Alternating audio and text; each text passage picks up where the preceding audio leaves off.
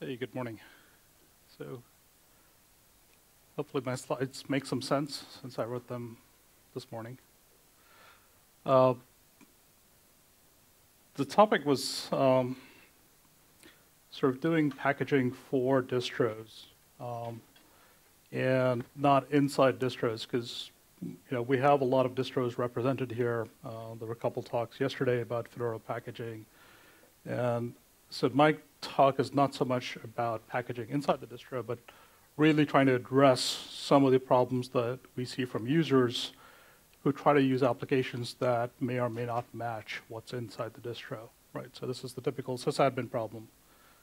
And so if we look at, you know, where things are coming uh, from, the number of Linux distributions in terms of versions that are out there and the number of uh, options that we have hasn't really grown a lot, right? So there's, there's variations, but fundamentally we still have a handful of Debian, uh, RPM, and sort of other odd variants of Linux distributions, but the number of open source projects, on the other hand, has grown at a much faster rate than the distributions themselves can include and make available. So how do we get end users who are interested in these projects that are not included in the dis distribution get access to those relatively easily, and also the fact that developers, unlike packagers, tend to be very version sensitive when they're looking at their particular application. They care about particular versions of Java, or particular versions of Ruby, and uh, if it's tied to the OS, it becomes relatively hard to manage. Um, so if you look at sort of packaging, uh, packaging has come in a couple different formats. So individual projects always have an upstream. So we always have this upstream tarball um, notion. And then specific distros have their packaging rules in terms of how things are packaged and, and where they're maintained. So um, in Fedora, for example, there, there are usually a couple of OpenSSL packages because OpenSSL interfaces change over time and you want to provide a couple different options. Um, if you use build tools like AutoConf, they also have a certain set of defaults, whether it's in user local or other places. So if you're using, you know, .configure for your project, you get a certain set of defaults that have come through um, some level of Unix conventions over the last 20 years, whether it's user local op and so on. So, so we have built our packaging rules and guidelines over time based on uh, behaviors that I've seen.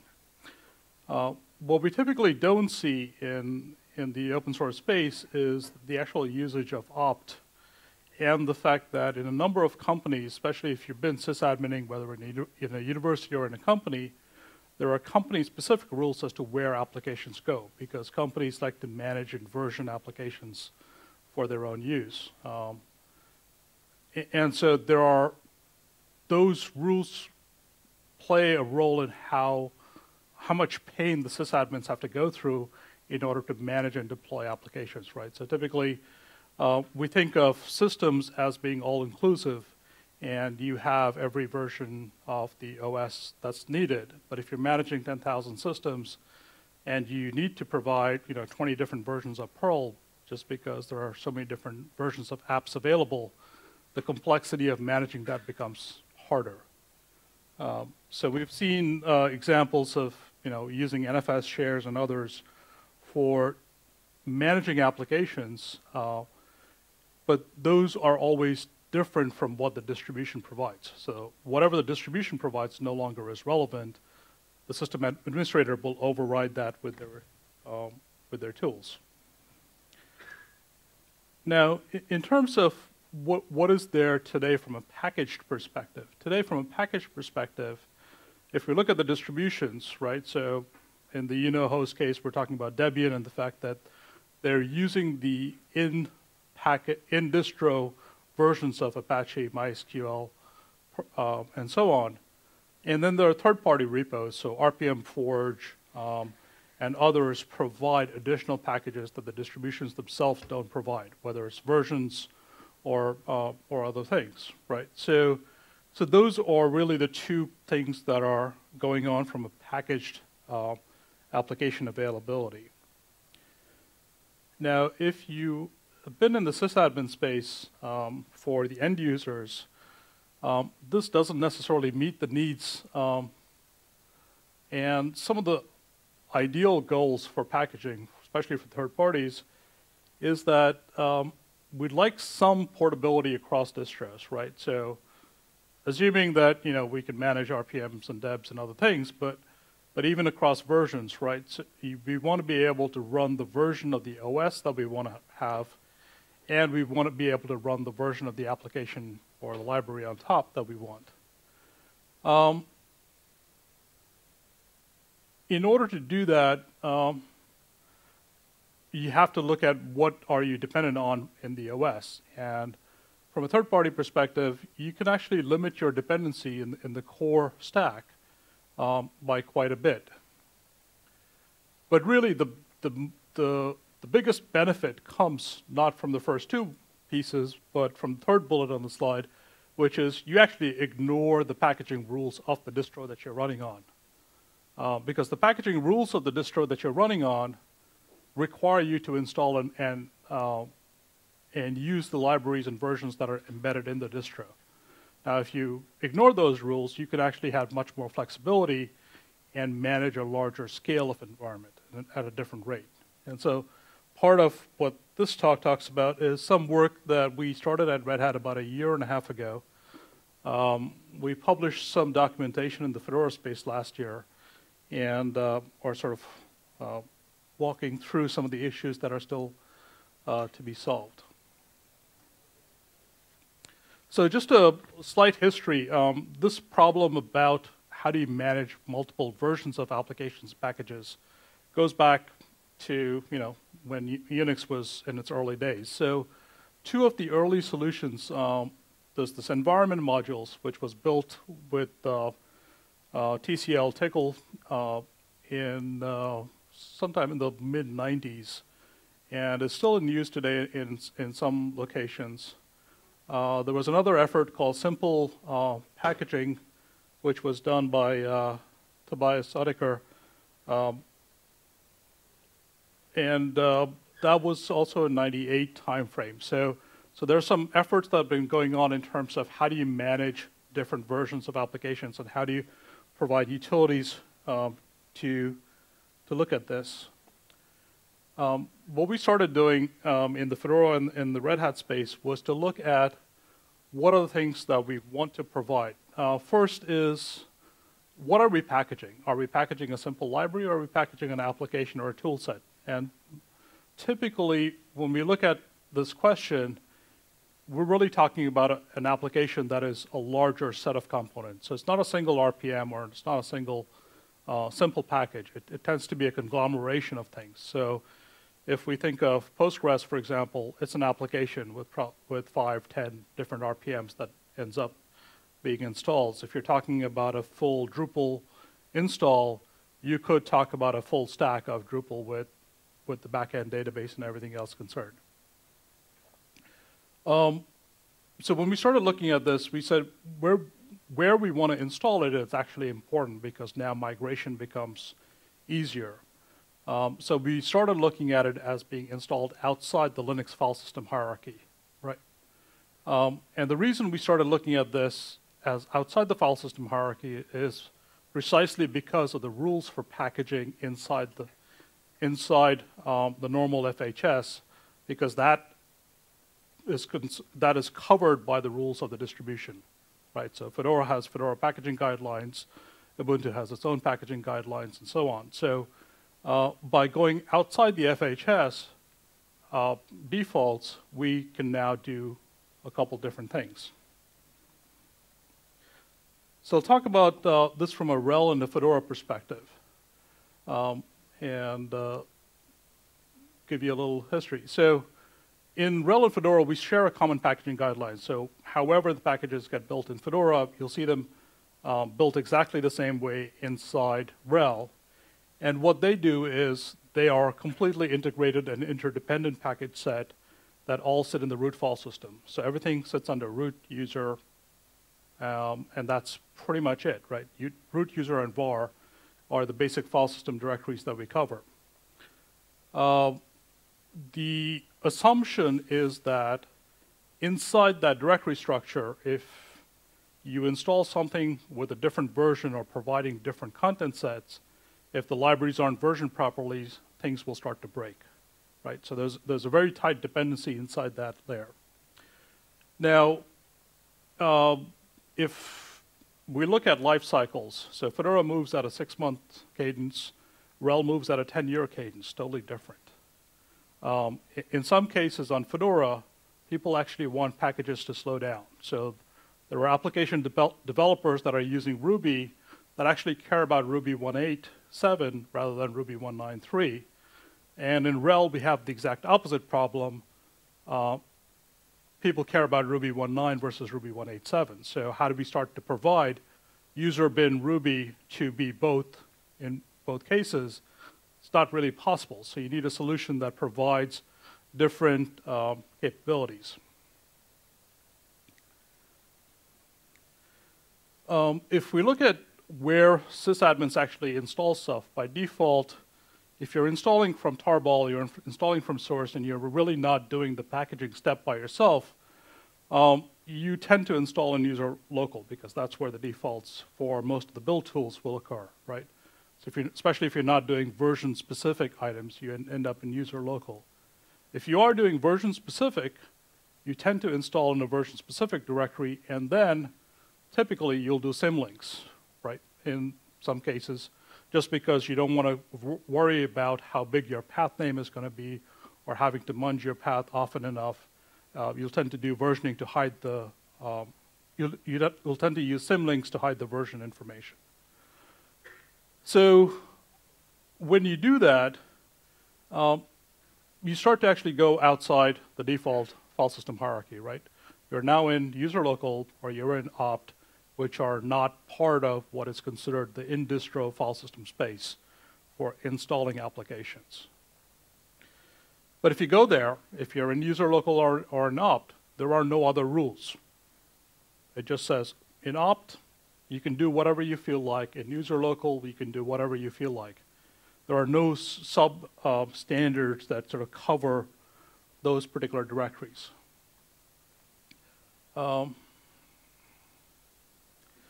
so one of the things that we started to look at was how do we address this problem of multiple sources providing applications, as well as the fact that system admins will want to create their own, own source, own applications locally, and you want to do versioning, and you want to do multiple application co-hosting, and so on.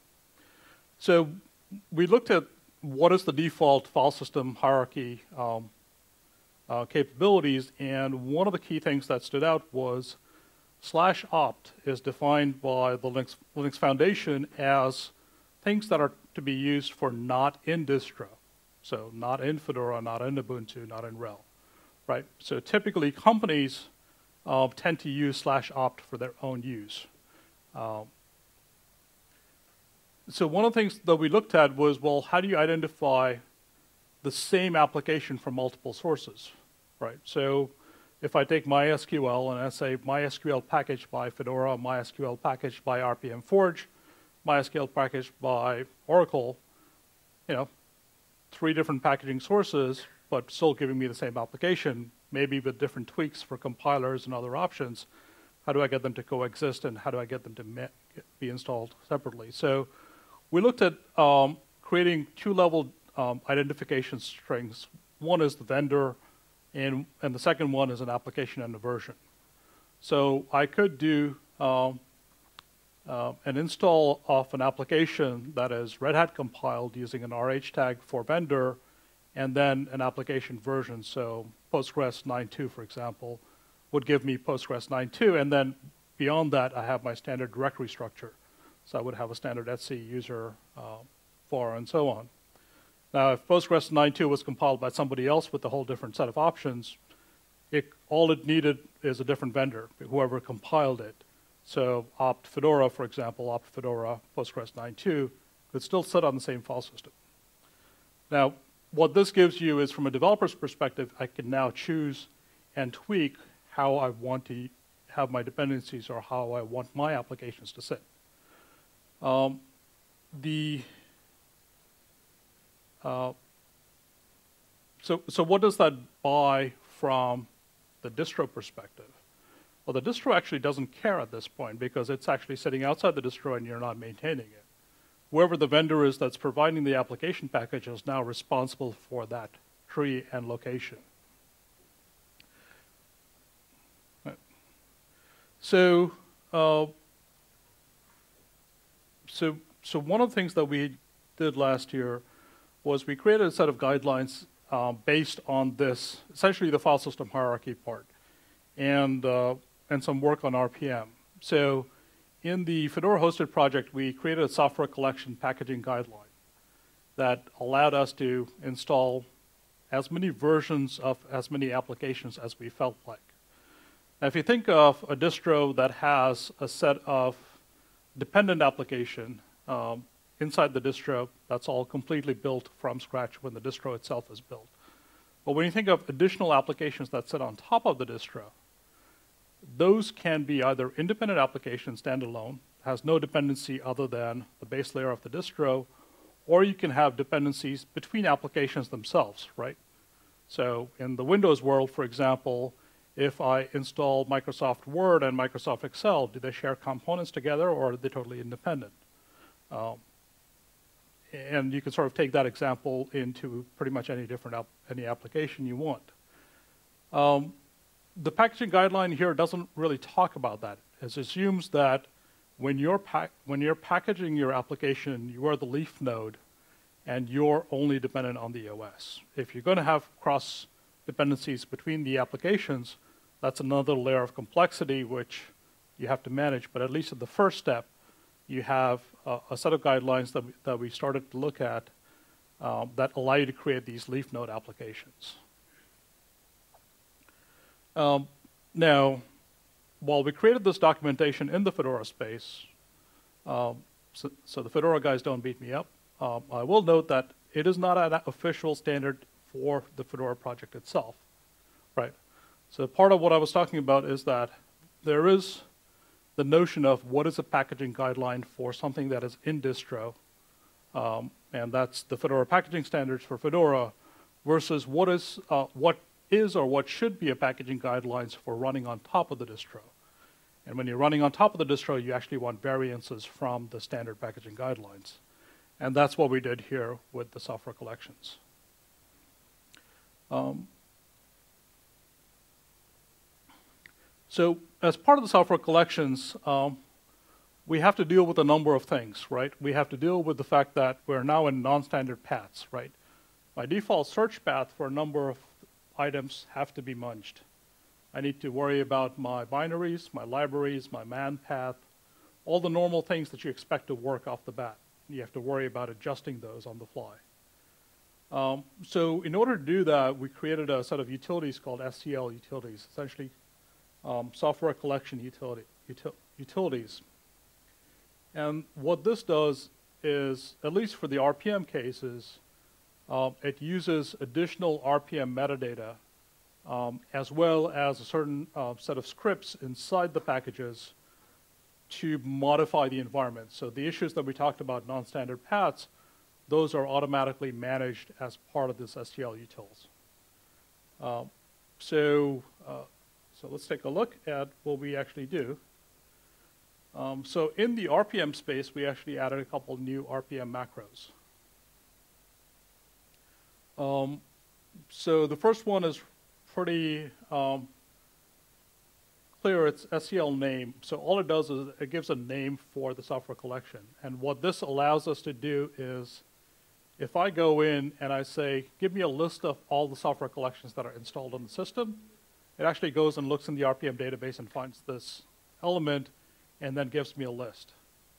So just so think of going into a, a, system and saying, give me a list of installed applications. Today, if you look in the RPM database, you get a list of RPMs. You don't get a list of high-level applications. So this is more of the meta packaging and, and the meta name of what's being installed. Um, package name, this is the original package name. So if you were to install it in the file system hierarchy, what would its package name be? Uh, so that's where we're coming from. And then um, the SCL prefix. So what is the root um, of the software collection? Um, in this case, I was building it in Red Hat, so I installed opt-rh. If I was building it in Fedora, I would do opt-fedora, um, whatever my vendor tag I wanted to use. So opt vendor tag. And then I have two directories that I define. One is a location of where the scripts are, and this is the scripts that are used to munch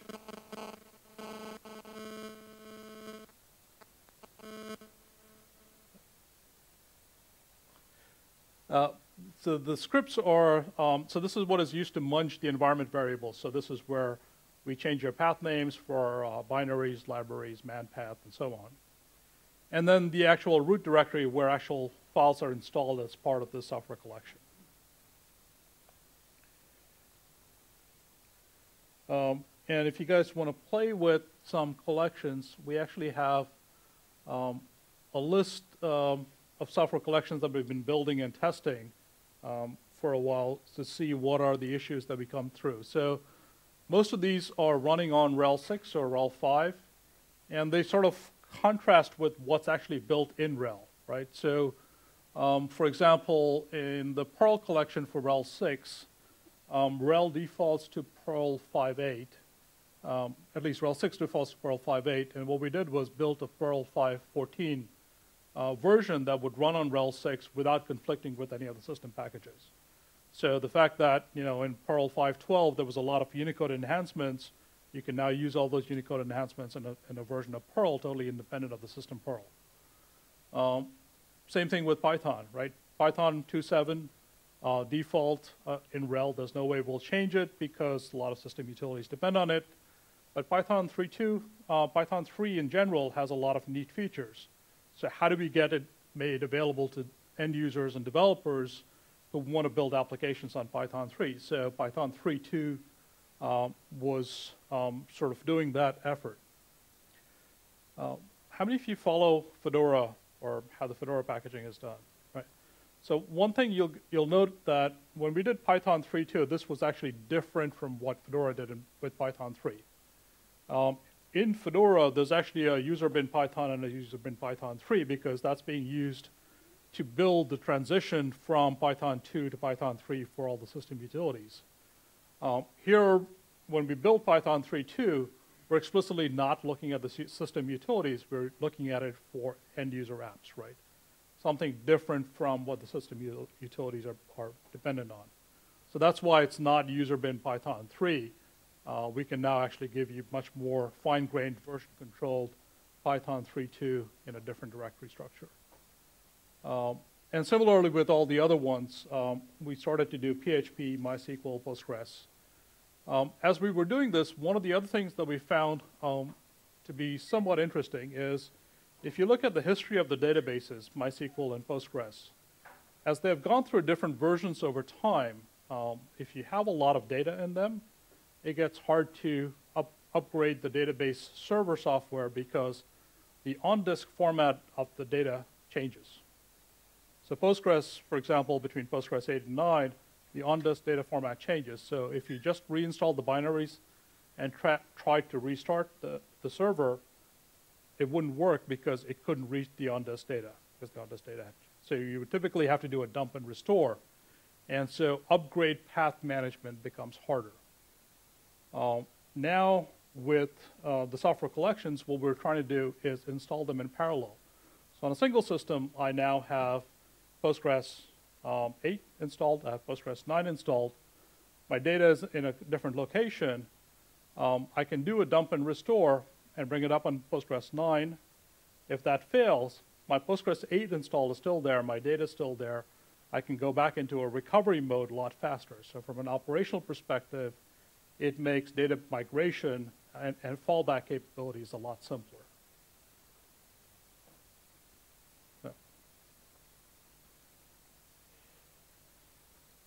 Um, I'm not sure you guys can see this properly, but this is uh, just some of the sample commands that um, the software collections uh, piece brings in. So uh, SCL enable uh, is really the only uh, main action that we have available today.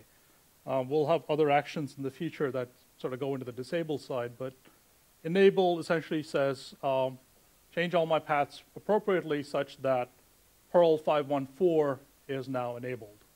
And what it does it is it will go into your path and append where the path where Perl 5.4 is there, along with all the libraries, man paths, um, Perl docs, and so on. And if you um, do nothing with it, nothing else, so Perl SCL enabled Perl 514, it just changes your current shell environment, and you can now have that Perl available as part of your default. However, you, if you add additional commands onto the string, all it does is executes that command in that context and then, and then returns without changing anything in your current shell. So, so you can look at it in, in a couple different ways of how do you want to enable this uh, for a startup application, or do you want to just change your default for your login shell? A um, couple different ways to do that. Um, if you're running SE Linux um, in the Fedora and RHEL space, you can do the normal SE Linux stuff. With the software collections, um, it's no different. Um, and if you look at, um, you know, sort of the path and the defaults of where these software collections look for their stuff, um, the bottom sort of shows where the paths for Perl 514 in this particular example land up, right? So if you're installing additional uh, CPAN modules, they'll land up in those particular directories rather than somewhere else. Um, so as part of this effort, what we saw was, um, A, um, we need a mechanism to make the package management and package maintainer process a little bit easier. So um, creating RPM spec files is pain enough um, for a lot of developers. Um, to create an RPM spec file that talks about software collections is a second step that we have to do. So what we started looking at was at least start to create a framework for helper applications. Um, so we have some conversion utilities that look at how do you take a spec file and transition it into a software collection, adding additional macros and pulling those in. So um, there's a spec to SCL that takes a standard spec file we'll modify it into a software collection spec file. Um, if you're running Python um, or Ruby programs, since they have their own packaging mechanisms, of course, you need to sort of take them from their, those packaging mechanisms into RPM in the first place. So there are some helper applications that do that as well. So once you have it in RPM, you can sort of chain load this and just run it from um, gem to RPM and then pass it on to spec to SCL and sort of have Ruby gem inside a software collection. So, uh, questions while I flip through some slides? Seems.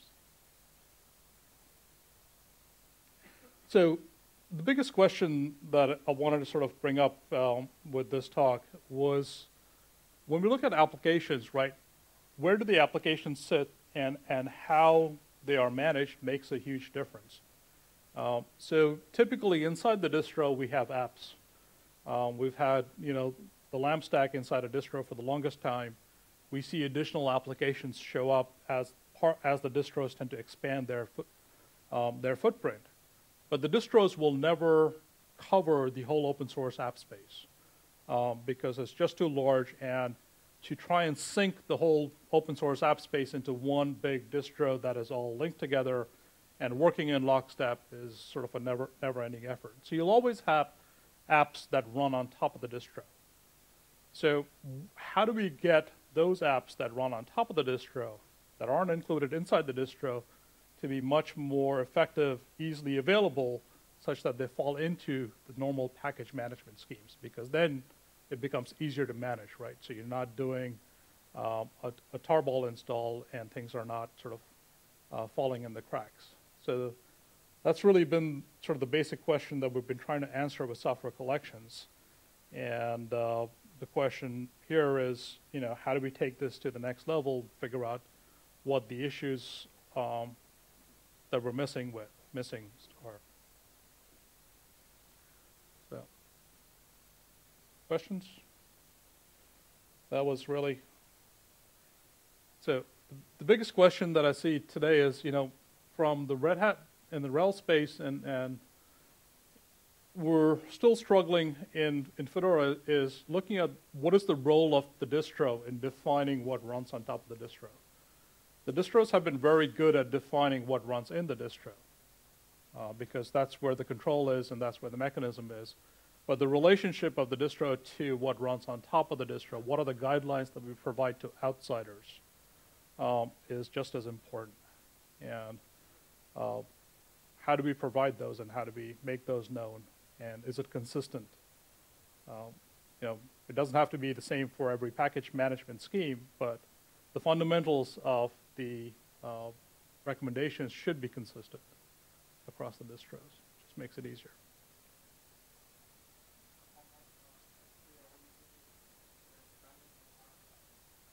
Um, SCL utils today are dependent on RPM because they look at those RPM macros. Um, but conceptually, they don't have to be, right? We define the RPM macros because that's what we were using at Red Hat. Um, but you can define other macros. Uh, if you look at the environment modules uh, in terms of historical references, the environment modules were built at a time where there was no package management. People just had tarballs. So all the environment modules does is it depends on a little bash script that sets up the environment module, right? So we, we sort of do the same thing in scriptlets as part of software collections, and you can do that. You don't have to worry about RPM at all. Yep. Sorry, there's a mic.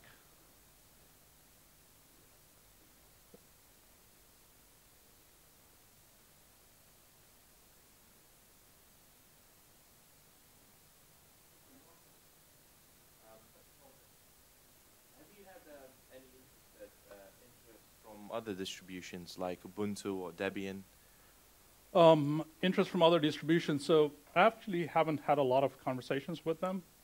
Um, in the RPM space, we've had conversations with the SUSE folks a little bit, right. um, but I don't think we've had a lot of conversations on, with the Debian. Team. Okay, thanks. I'm here. That's part of this presentation, just so I open to the conversation. Uh, what if the uh, distro is some non-Linux system, like AIX, for example, or HP Unix, Solaris, Windows? Yep. Um, sure, you can do that. So the SEP example that I had earlier, that Tobias was working on, that was actually a cross-distro model where he was working on a tool that would work on Solaris and Debian at the same time. And it was a functional system that they were using. So Software collections, the way we built it today in Fedora, doesn't do cross OS. Um, but if, if there's interest to build this into a cross OS tool, absolutely, absolutely. And one more, what if, in, if you don't have root access on the target machine? That's the next one. Um, so today, you do need root access. This depends on system administrator. Um, we need package, package management tools to change a little bit in order to allow end users to be um, able to install and manage their own packages, right? So today, package managers depend on root access, and there is a single um, RPM database for RPM systems, right? So there's no way to do multi-user.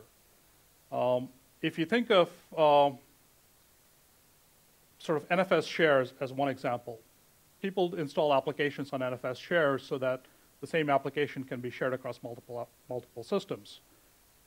It's hard to do um, packaging and package verification on, on NFS shares because you can only do it on one system that you use as target for installation and verification. If you look at the shares on others, you can't do package verification because the RPM databases are inconsistent with the rest of the file system.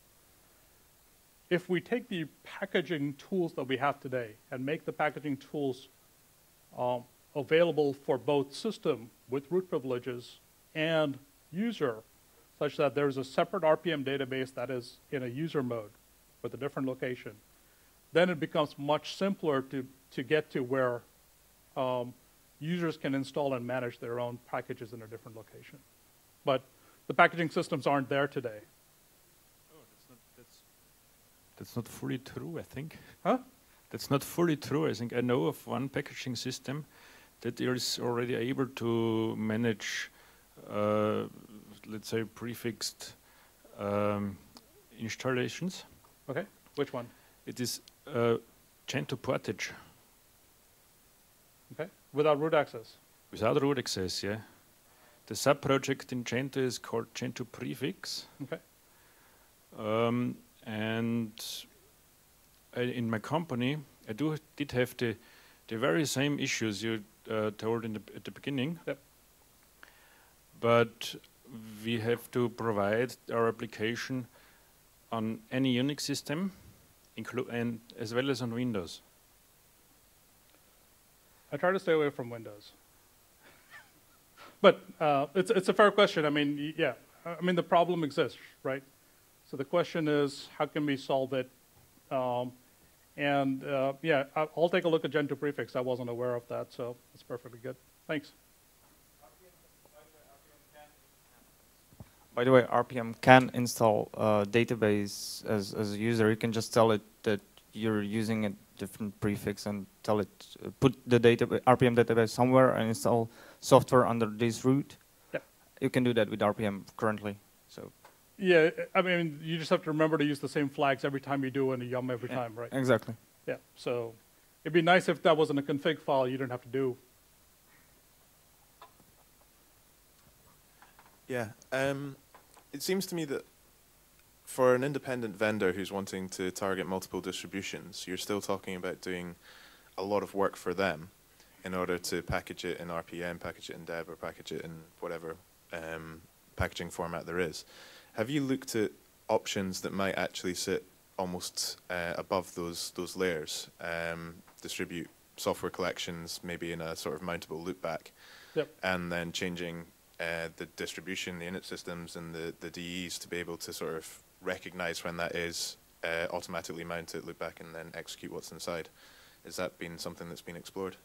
Um, we have um, looked at it um, in terms of somebody that does it today. Bitnami is probably the one that comes to mind. Uh, Bitnami does their own installer, um, sort of ignores RPMs and debs and does their own thing.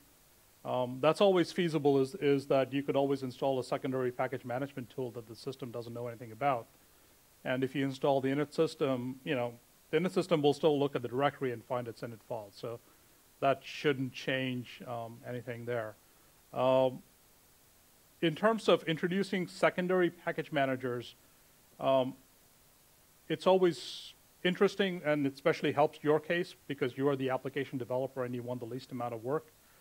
Um, I haven't seen a lot of uh, what I would call system administrator pickup to do ch- multiple package management systems. Um, they tend to have enough problems with one package management system to do two on the same system becomes harder. Sorry. But if you could get, you know, your customers to buy into that, hey, What do you think about uh, the Nix packet uh, management? Nix, I am clueless. Clueless? Yes. Okay, it's it's uh, the same uh, the same principle, but uh, I think Nix is more flexible than uh, SCL. Okay. Uh, give me a link and I'll take a look at it. Okay.